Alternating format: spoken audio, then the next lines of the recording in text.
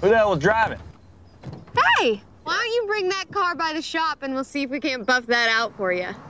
That was a girl. I gotta tell you, you're turning out to be a gearhead. I just want to know what my dad used to do. I mean, I could work here for you this summer. Your mom would never go for that. You don't know that. The car you're looking at held the Petaluma Speedway record for quite some time. How? You drop it from a plane? There's the old man of yours. See what you can do. How did that feel? Awesome. You're a Lansing. You should race again. It's a young man's sport. I know that. I've accepted it. What about a young woman? Oh, boy. You could be on my race team. Show me the ropes. Let's just take it slow. Who the hell am I kidding? You're gonna put your foot through the floorboard as soon as you get out there. So why'd you stop racing? Your dad didn't just die in a car wreck. He died in a car wreck on that track. Ellie, Mom?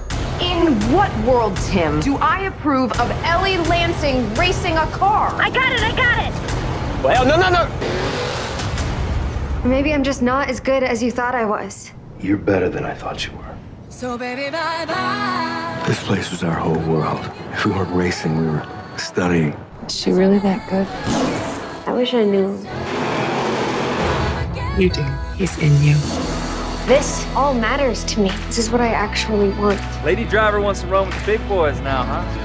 You're not scared. A little scared you're gonna crash into them. Can't crash into you if I'm ahead of you. You got this, kid. Thanks, Mom. There is an intangible component that goes with every dream.